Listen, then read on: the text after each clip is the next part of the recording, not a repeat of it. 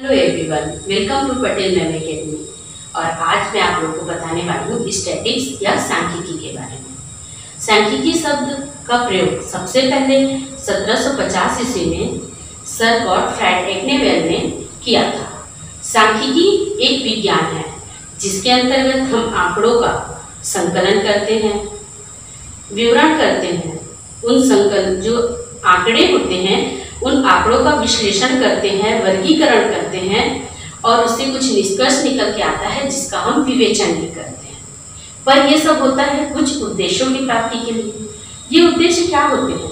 ये उद्देश्य होते हैं उन आंकड़ों के मध्य सहसंबंध ज्ञात करना या तुलना करना, जिसे हम सांख्यिकी के अंतर्गत करते हैं।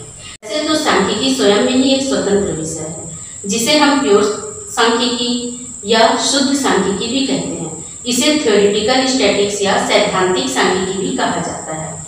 इसके अंतर्गत हम सूत्रों का निर्माण, सांख्यिकी सूत्रों की स्टडी और सिद्धांतों को बनाने का क्रम सीखते हैं।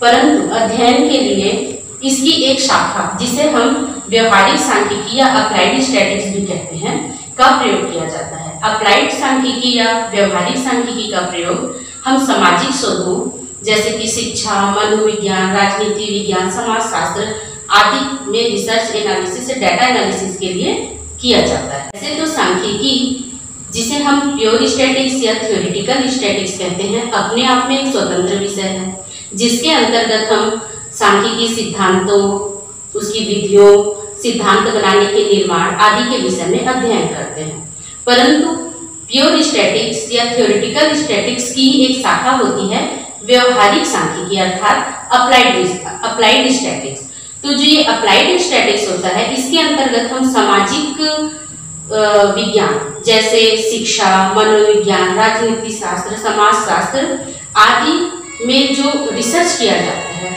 उस रिसर्च में जो डेटा एनालिसिस होता है, उसके लिए इस अप्लाइड स्टैटिक्स या व्यवहारिक सांख्यिकी का प्रयोग करते हैं, उपयोग करते हैं।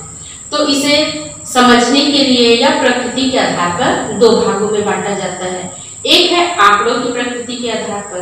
तो आंकड़ों की प्रकृति के आधार पर व्यवहारिक सांख्यिकी को दो भागों में विभाजित किया जाता है। पहला है प्राचल सांख्यिकी या पैरामेट्रिक स्टैटिक्स और दूसरा है अप्राचल सांख्यिकी या non parametric statics. Parametric statics और नॉन पैरामेट्रिक स्टैटिक्स क्या होता है, मैं आप लोग को बताती हूँ। पैरामेट्रिक स्टैटिक्स में ऐसे आंकड़े आते हैं जो एनपीसी को फॉलो करते हैं। अब ये एनपीसी क्या होता है? एनपीसी का अर्थ होता है नॉर्मल प्रोबेबिलिटी कर्व या सामान्य वितरण वक्र। थोड़ा सा हम एनपीसी के दर्शन को समझते हैं। एनपीसी जो सामान्य संभावना वक्र भी कहा जाता है जब हम इस ब्रह्मांड में जाएँगे, इस ब्रह्मांड में, इस सृष्टि में देखते हैं तो हम पाते हैं। पहले हम जीव जंतु जगत को देखते हैं। तो वहाँ पे हम क्या पाते हैं कि इस संसार में बड़े बड़े नीली वेल से लेकर छोटे छोटे वायरस जीवाणुओं तक पाए जाते हैं। इसी प्रकार से यदि हम वनस्पति विज्ञान या वनस्पतियों के क्षेत्र में देखते हैं तो पाते हैं कि जहाँ एक ऊँचे ऊँचे देवदार के वृक्ष हैं, वहीं छोटे छोटे शैवाल भी हैं। परंतु जितना वितरण है। क्या सब लोग उतने ही ऊँचे होते हैं या क्या सब लोग उतने ही छोटे होते हैं? सब कुछ औसत में होता है, सामान्य रूप में होता है।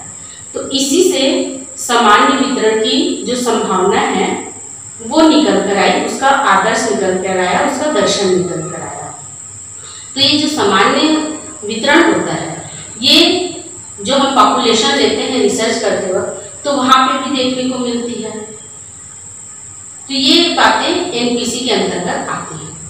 तो हम देखते हैं कि पैरामेट्रिक स्टैटिक्स में क्या होता है, जो एनपीसी को फॉलो करे, उसके दर्शन पर लागू हो, उस सिद्धांत पर प्रतिपादित हो। उसी प्रकार से अप्राचल या नॉन पैरामेट्रिक स्टैटिक्स में क्या होगा, जो सामान्य संभावना वक्र पर निर्भर ना हो, उससे फॉलो ना करता हो। सांख्यिकी में गणना के लिए हम प्रयोग करते हैं रिफ्लेशन और इसके अलावा कार्पेशन सहसंबंध गुणांक उसी प्रकार से अप्राचल सांख्यिकी में हम प्रयोग करते हैं मीडियन स्पीयरमैन कोफिशियंट कोरिलेशन इसके अलावा median test chi square test sign test etcetera इसी प्रकार अप्राचल सांख्यिकी को उसके एनबीसी को फॉलो न करने वाले गुण के कारण वितरण मुक्त सांख्यिकी भी कहा जाता है। अभी हमने जाना प्राचल और अप्राचल स्टैटिक्स के बारे में। ये आंकड़ों की प्रकृति पर आधारित होते हैं। उसी प्रकार आंकड़ों की उपयोगिता के आधार पर भी इसे दो भागों में विभाजित किया जाता है। जिसमें से पहला है डिस्क्रिप्टिव स्टैटिक्स और दूसरा है इन्फर्सल स्टैटिक्स अर्थात वर्णात्मक सांख्यिकी एवं निष्कर्षात्मक सांख्यिकी। स्टैटिक्स या वर्णात्मक सांख्यिकी में हम आंकड़ों का संकलन उसका प्रस्तुतिकरण, विश्लेषण आदि करते हैं, जिससे उसकी स्थिति के बारे में पता चलता है। आंकड़ों की स्थिति को पता लगाने के लिए हम मीन, मीडियन मोड अर्थात केंद्रीय प्रत्यय को माप का प्रयोग करते हैं, या विचलनशीलता की माप का प्रयोग करते हैं। विचलनशीलता के माप के अंतर्गत आपका चतुर्थ विचलन, या फिर रिप्रेजेंटेशन के अंतर्गत हम पाई डायग्राम, बार डायग्राम, ओजाई आदि का प्रयोग करते हैं। इसके अलावा समूह में व्यक्ति की स्थिति क्या है, ये हमें पता लगता है परसेंटाइल और परसेंटाइल रैंक निष्कर्षात्मक सांख्यिकी। निष्कर्षात्मक सांख्यिकी को हम अनुमानिक सांख्यिकी भी कहते हैं। इसमें हम भविष्य के लिए अनुमान लगाते हैं। होता क्या है कि शिक्षा या मनोविज्ञान में हमारा जो पॉपुलेशन है, जनसंख्या, वो बहुत बड़े क्षेत्र के लिए होती है। पूरे क्षेत्र में हमारे मेथड अप्लाई करना पॉसिबल नहीं होता। इसके लिए हम क्या करते हैं, कुछ ऐसे सैंपल लेते हैं, कुछ ऐसे न्यादर्श लेते हैं, जो उस पॉपुलेशन का प्रतिनिधित्व करे। इसलिए इस सांख्यिकी को हम सैम्पलिंग स्टैटिक्स भी कहते हैं। पौधा अनुमान लगाने के लिए उच्च सांख्यिकी विधियों का प्रयोग किया जाता है, जिसके लिए हम लॉग प्रोबेबिलिटी अर्थात संभावना नियम स्टैंडर्ड इरर यानी कि मानक त्रुटि और सिग्निफिकेंस अर्थात सार्थकता परीक्षण आदि उच्च सांख्यिकी विधियों का प्रयोग करते हैं। अब, हमारे पास समस्या ये है कि क्या हम स्टैटिक्स में कमज़ोर हैं तो भी क्या रिसर्च कर सकते हैं? जैसा कि आप सब लोग जानते ही हैं कि किसी भी रिसर्च या डिजर्टेशन को कंप्लीट करने के लिए एक प्रमुख अवरोध होता है डेटा एनालिसिस का, जहाँ पर पहुँच कई विद्यार्थियों को तकलीफ़ होती है कि ये मैथ्स तो हमारे लिए बहुत कठिन है, हम इसको कैसे सॉल्व करेंगे? और वही समस्या यहाँ भी आती है कि हमें पता कैसे चलेगा कि कब हमको पैरामेट्रिक स्टैटिक्स लगाना है और कब हमें नॉन पैरामेट्रिक स्टैटिक्स लगाना है। तो इसे पता करने का बहुत सिंपल सा तरीका है। जैसे कि मैंने पहले ही बताया कि जो पैरामेट्रिक स्टैटिक्स है, वो एनपीसी को फॉलो करेगा और जो नॉन पैरामेट्रिक स्टैटिक्स है, वो एनपीसी को फॉलो नहीं करेगा। तो अब हम पता कैसे करें कि हमारा जो आंकड़ा है, वो एनपीसी को फॉलो करता है या नहीं करता है? तो इसे पता करने का बहुत ही सिंपल ट्रिक है। सबसे पहला तो है, आप लोगों को पता ही होगा मेजर ऑफ़ स्केल आपने चार स्केल के बारे में पढ़ा होगा, जिसे स्टेवेंस महोदय ने दिया था।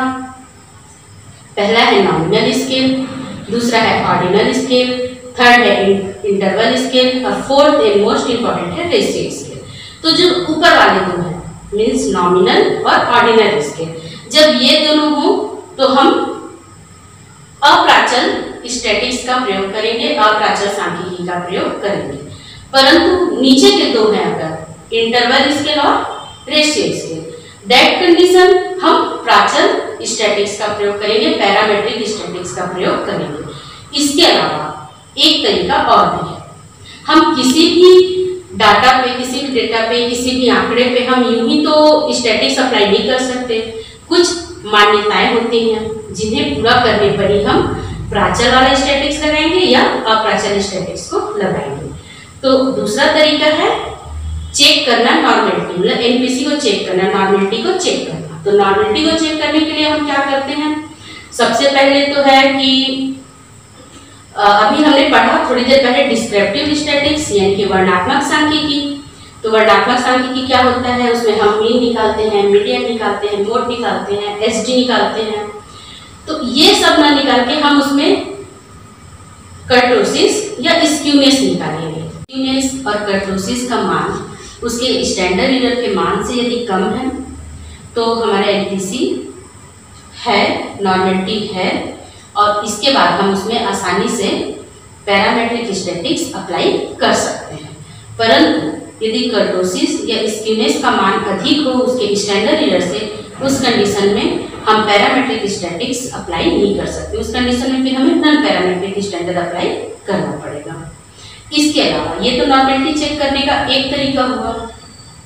दूसरा तरीका है नॉर्मेलिटी चेक करने का क्यू क्यू प्लाट टेस्ट आप लोगों ने देखा होगा कि एक ग्राफ होता है एक्स एक्सिस वाई एक्सिस और उस ग्राफ में एक सीधी रेखा होती है।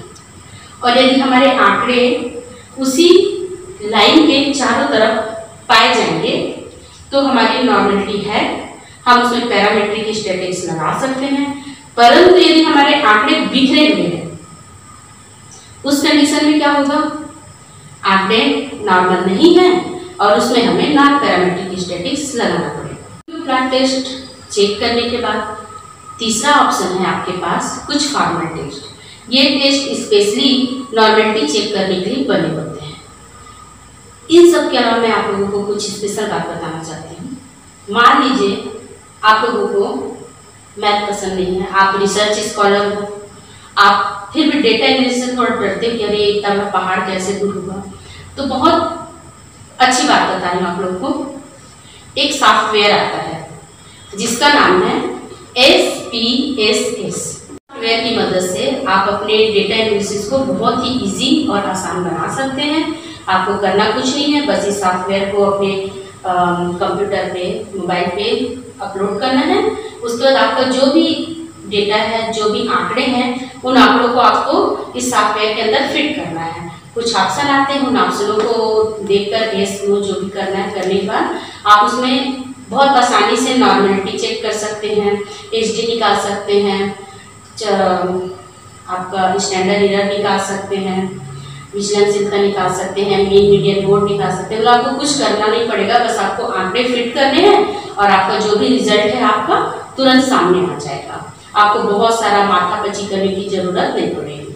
तो आप लोगों को आज का हमारा वीडियो पसंद आया होगा और ऐसे ही वीडियो के लिए हमारे चैनल को लाइक शेयर सब्सक्राइब करें। और अगर कुछ पसंद नहीं आता है या आपको कोई टॉपिक समझ में नहीं आता है तो आप कमेंट में अपने टॉपिक को भी भेज सकते हैं। Thank you for listening me Patel ma'am